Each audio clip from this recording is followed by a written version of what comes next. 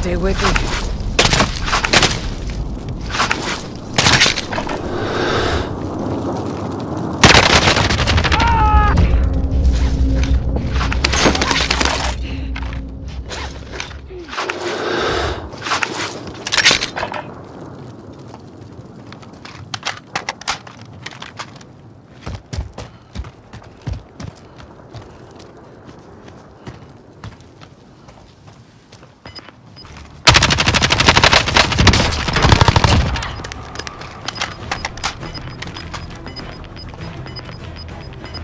That is a win. Took what was yours and made them pay